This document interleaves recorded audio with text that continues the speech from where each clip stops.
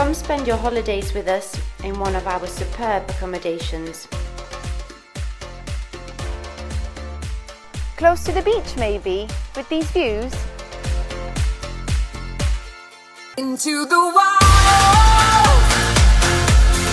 Into the wild!